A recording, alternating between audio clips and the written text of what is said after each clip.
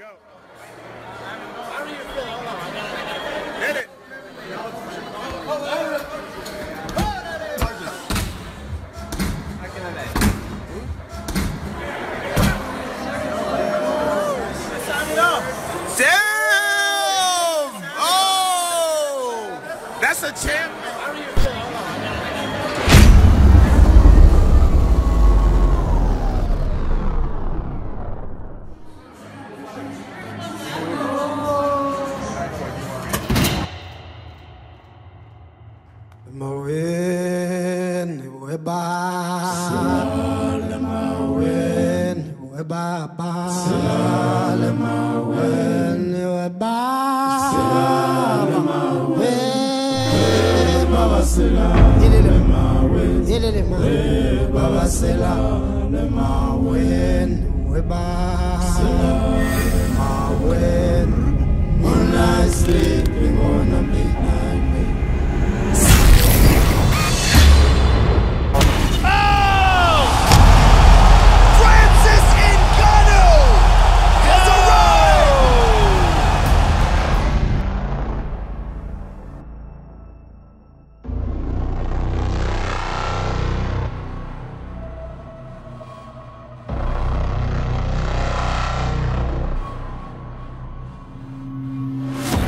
There can be no doubt now. There can be no doubt now. You are absolutely the number one contender. You just knocked the number one contender out cold with an absolutely spectacular knockout.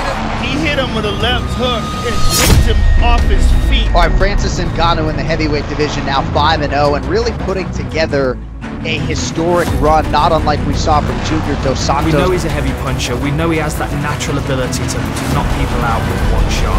One of the heaviest hitters in all MMA. It's like dynamite in his right hand. My man.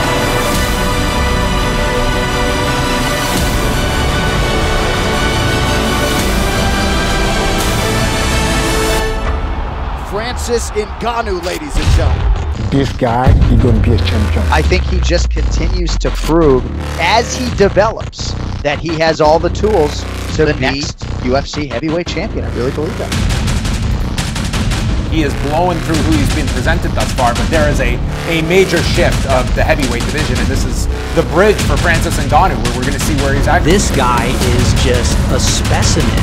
If you give him time and you give him that ability to pick up the other skills that he needs, he most definitely could be a force. For me, fight is my life.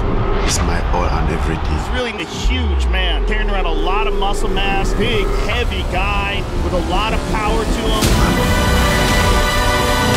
Declaring the winner by He- This guy has an incredible amount of power. He's At 1 minute, 42 seconds of the very first round.